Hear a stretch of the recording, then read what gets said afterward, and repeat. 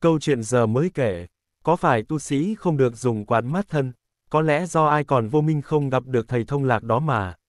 Khi ta bênh vực người còn thiếu giới luật là quả xấu ác là gặp quả ác.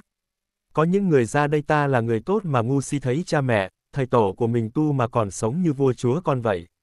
Thì ta phải hành sao? Thầy thông lạc không cho tu sĩ tự quán mát cái thân à? Khi thời tiết nóng lạnh, phải dùng pháp tác ý nhắc cho nó không có nóng lạnh nữa chứ. Đây khi ta còn cái ngồi xe hơi, xe máy, đi xe đạp.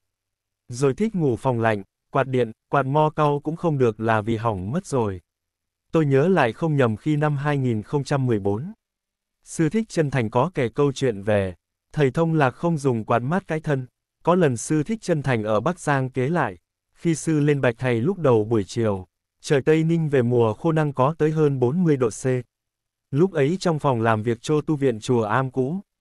Khi bốn xung quanh nhà sát liền kề có tách cái hẻm chỉ khoảng 30 đến 40 cm. Nên mấy con chó của cô út rượu quang nuôi chó, nó ra chỗ đó tẻ, y suốt.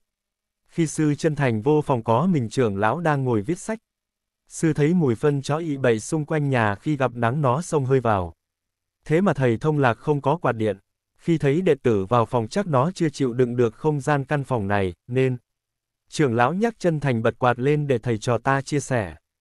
Thầy chân thành có nói với chúng còn là, lúc ấy sư nghĩ, nếu một người khi chưa có chứng đạt chân lý sao chịu cái mùi phân chó ba nắng thế kia. Sau khi nghe câu chuyện trên mới biết người tu hành không được dùng quạt. Mà khi nghe Pháp Phật dạy, có Pháp phải kham nhẫn chịu đựng, hay chưa tập Pháp ăn trái cây dụng, thì chớ vội vào rừng là thế sao?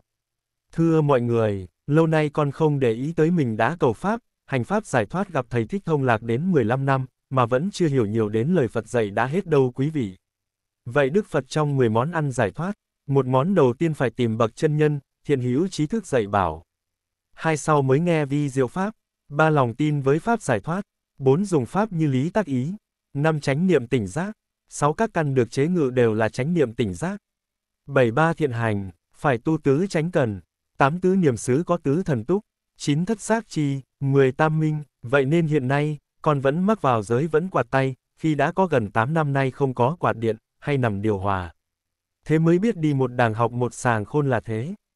Tính mọi người đã chỉ cho con những giới rất nhỏ thế mà lợi dưỡng cái thân là người chỉ hố chôn vàng nên con thực hiện ngay, khi xứ miền Nam này đang nắng nóng quý vị ơi. Trên đường đi tìm pháp giải thoát nên mấy ai để ý đâu ạ. À. Tự chữa lành,